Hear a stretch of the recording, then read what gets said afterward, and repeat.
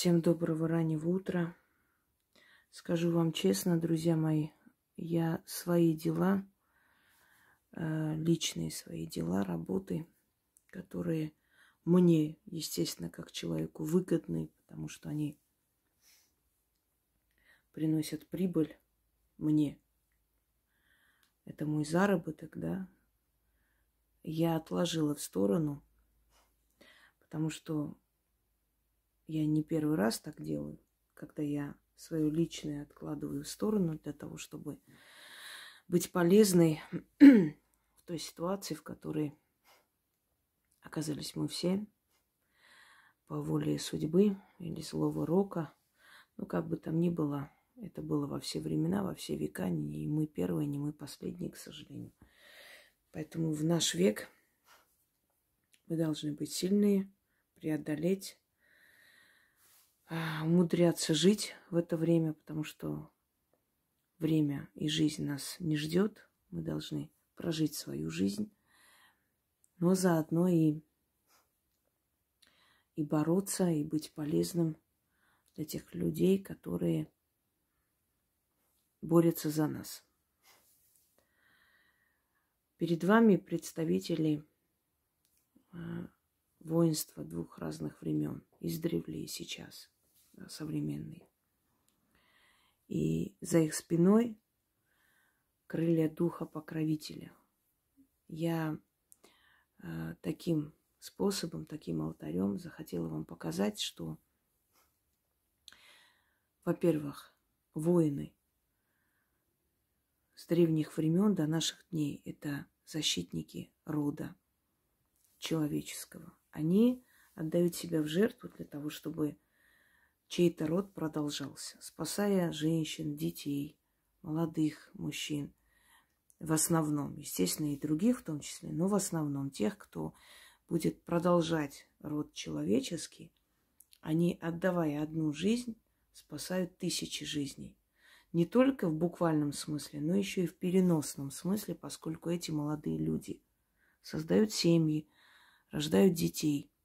И именно благодаря тем, кто отдал свою жизнь за них, э, у них появляются дети, внуки, правнуки. То есть один человек дает жизнь э, огромному количеству людей, которые через каждый век, да, еще больше приумножаются. И можно сказать, что один человек, который погиб, спасая, предположим, нескольких детей, отдал жизнь свою.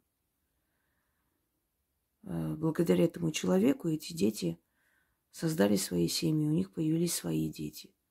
Если у каждого хотя бы по два, по двое детей родилось, через несколько сотен лет это население целого города. Через тысячи лет это население целого района и региона. Понимаете? Вот каждая жизнь, отданная за людей, спасает тысячи и миллионы жизней. Вот почему во всех культурах воины считались, э, то есть их жертва считалась самой благородной, самой достойной жертвой во имя человечества.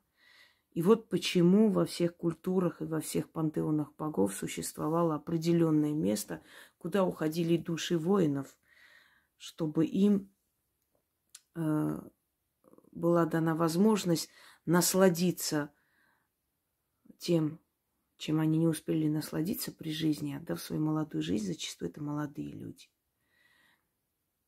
Понимаете, почему им особое внимание, почему у э, значит, э, северных народов Валхала, как символ э, пристанища, символ э, того места, где воинская каста обитала, то есть души воинов. И валькирии забирали их в Валхалу для того, чтобы те вечно пировали.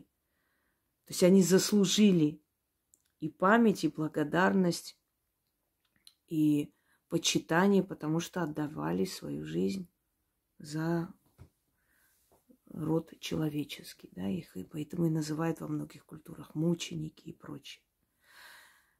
Но, друзья мои, помимо того, что есть гибель воина, есть и воины, которые возвращаются славой, победой. И они не менее достойные люди, чем те, которые отдали свою жизнь. Но им было суждено выжить. Или было суждено, или вот таким вот образом, как вы видите, покровительствовал кто-то им и возвращал домой.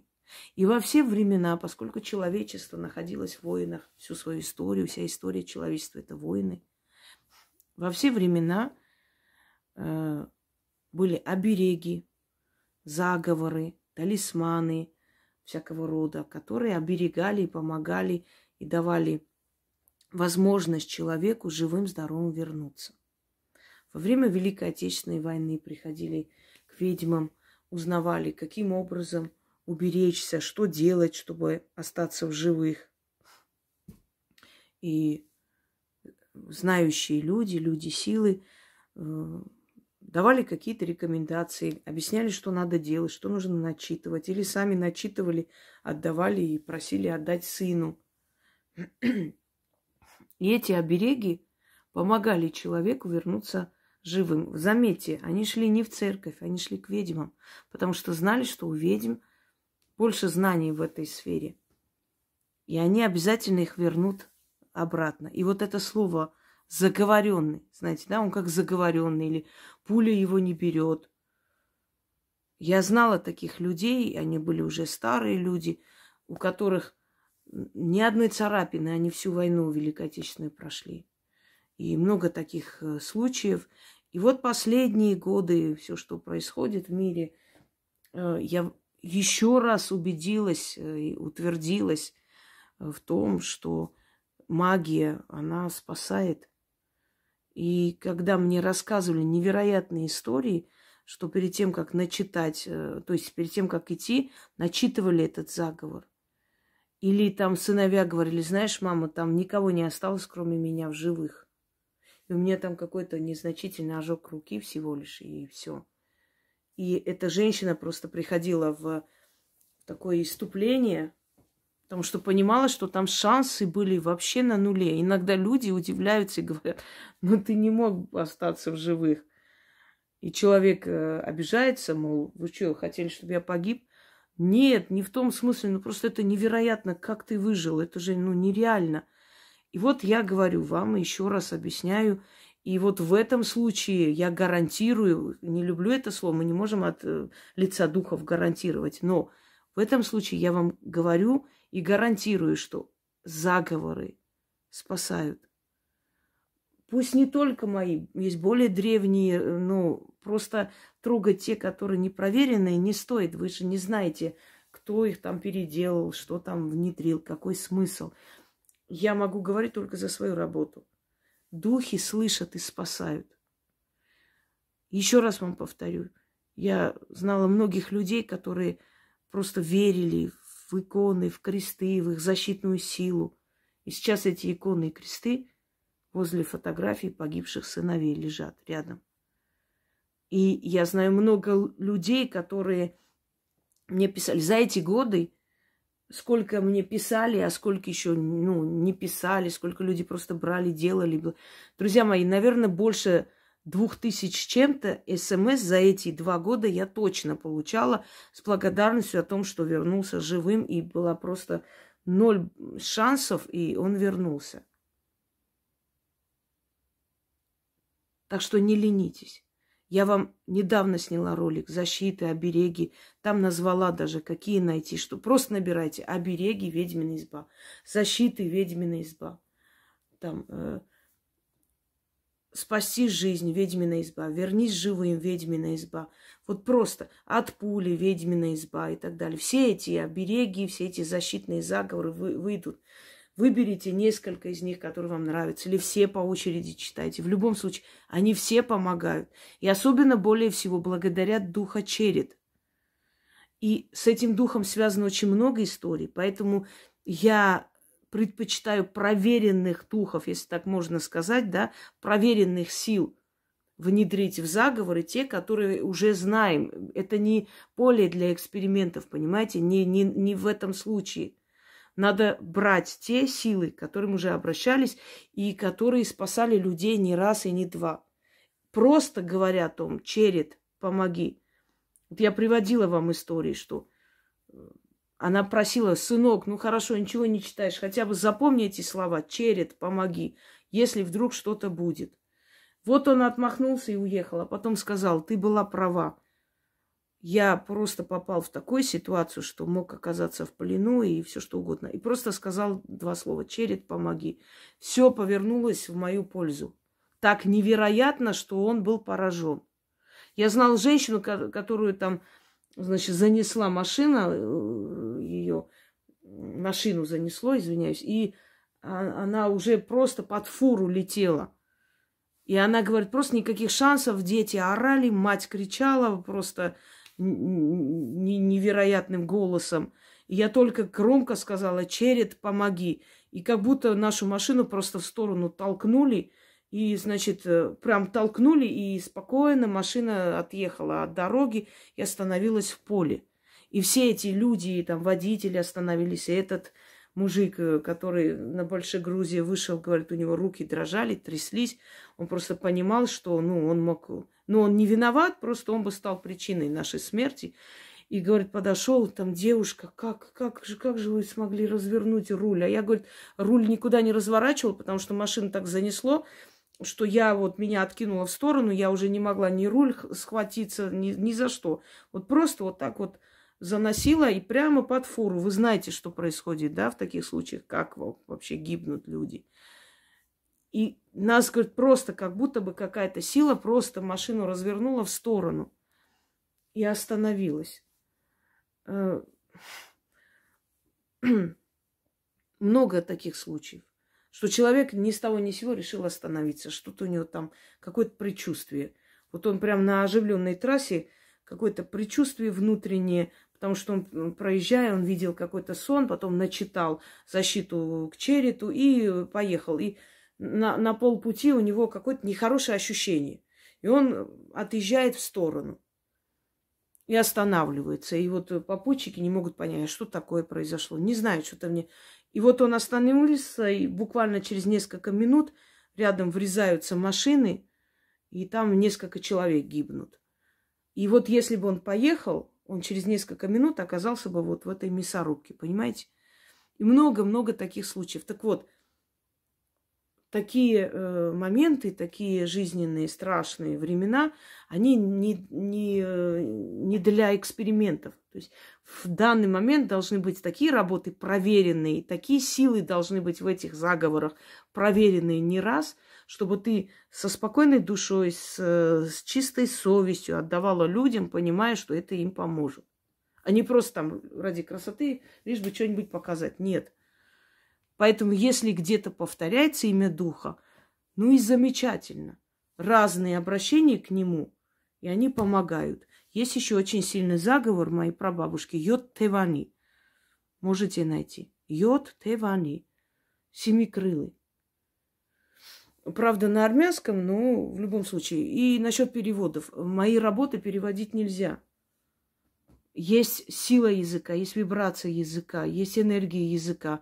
Если бы можно было перевести, я бы все эти э, заговоры и ритуалы перевела на русский язык и все. Но я вам даю на различных языках, потому что есть сила и энергия того языка, на котором он создан. Про, э, читайте, пускай с ошибками, ничего страшного. Я прекрасно все понимаю и никогда не напишу те слова, которые, если вы с ошибкой произнесете, будет смысл плохой. Нет. Я же знаю, что подбираю те слова, которые даже при неправильном произношении никакой, там, никакого вреда не нанесут человеку. Смотрите. Э, берете фотографию, своего сына или дочери, который находится там, не буду называть. В любом случае, вот находится в таком месте, где смертельно опасно. Может быть, они в спецназе работают, может быть, там э, во внутренних там войсках, не знаю. В любом случае, в таком месте, где вот у них вот такая опасная профессия. Муж, сын, брат, отец, друг, товарищ и так далее.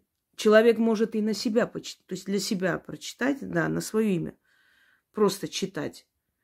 А вы можете, вы, вы читать для него. Берете его фотографию, становитесь посреди там комнаты или не посреди. Ну, в общем, становитесь. И читаете четыре раза, поворачиваясь на все четыре стороны света. Когда все благополучно завершится, отнесите красное вино, хорошее вино купите, откройте дома, можете открыть, чтобы там не открывать. Там выливайте это вино э, под дерево. Бутылку можете унести, чтобы не засорять, не загрязнять природу. Оставляйте столько монет, столько, сколько лет этому человеку, на которого читали. Еще раз объясняю для тех людей, которые говорят, а если у меня там сын, брат, еще кто-нибудь, на каждого отдельно читайте. Нельзя там коллективно, колхозно про всех сразу. Про... На каждого человека отдельно читайте. Берете фотографию человека, ну, можете там переписать. Лучше перепишите э, заговоры, не читайте с телефона. Телефон отвлекает. Вы должны показать уважение к духам. Э, и тем более, когда вы записываете, вы проносите через свое сознание, понимаете? Потом спокойно как бы без э, от, отвлечения на что-либо можете повернуться и читать. Кошки, собаки, кто угодно могут быть в комнате. Ну, кто угодно, имею в виду не при чужих людях, чтобы они не отвлекали. А кошки, собаки, живые создания, они могут остаться, это не мешает никак. Любое время можно читать. Утром, вечером, когда угодно. Просто в темное время суток силы более активны. Ну, именно те силы, которые отвечают за защиту, за любовь, деньги и все прочее. Итак, взяли фотографию, четыре раза прочитали, повернулись на одну сторону, прочитали. То есть прочитали, потом от, повернулись, прочитали вот вокруг своей оси. Если вы там не повернетесь э, именно в то место, где вы стояли, это не страшно. Главное, четыре раза читайте, вы как круговую защиту ставите ему вместе с собой. А те, которые для себя читают. Если у них нет возможности встать и поворачиваться, пусть они читают, просто читают этот заговор. Хотя бы один раз. Желательно четыре, ну хотя бы один раз. Или, если есть возможность, утром начитать, четыре стороны повернуться, и весь день вы будете живы-здоровы. Этот день с вами ничего не случится. Но читать нужно постоянно. Так положено, так надо. Итак, читаем следующее. Черной птицей смерть мчится по небу. Станет черед-хранитель, древний дух-спаситель. Птицу черную остановит, мечом булатным взмахнет, крылья черной птицы срубит.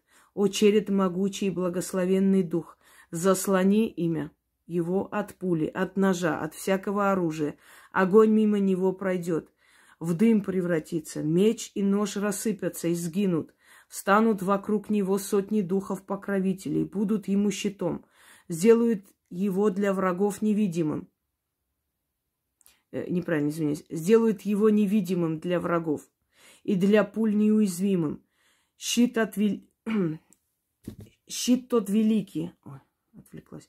Щит тот нерушимый, спасет его да защитит от всякого зла, от ранней смерти, от плена и мучения, от засады и капкана – во всякую минуту. Будет он спасен духами-хранителями, будет ими защищен и к матушке с батюшкой домой возвращен. Слово мое крепкое да лепкое, дело мое правое, защита будет надежная, истинно так, заклято. Послушайте меня, если у человека нет э, отца, только мать называйте. Если нет матери, только отца называйте. Если нет родителей, домой возвращен, просто говорите. Надеюсь, запомните. Просто если отца нет, не нужно говорить, что там к нему возвращен. Запомнили? Поэтому точно узнайте, у человека есть родители, нет родителей, если вы читаете на него. Плохого ничего не случится, но желательно, чтобы этого не было.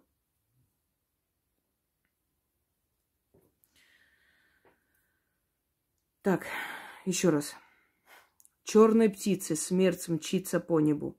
Встанет черед-хранитель, древний дух-спаситель, птицу черную остановит, мечом булатным взмахнет, крылья черной птицы срубит.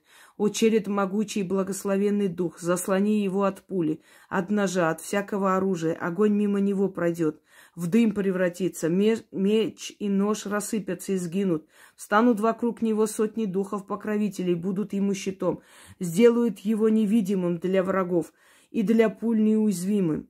Щит от, тот великий, щит, щит тот нерушимый, спасет его да защитит э, во вся, э, от всякого зла, от ранней смерти, от плена и мучения, от засады и капкана. Во всякую минуту будет он спасен духами хранителями, будет ими защищен, и к матушке с батюшкой домой возвращен. Слово мое крепкое да лепкое, дело мое правое, защита будет надежная. Истинно так, заклято. Еще раз.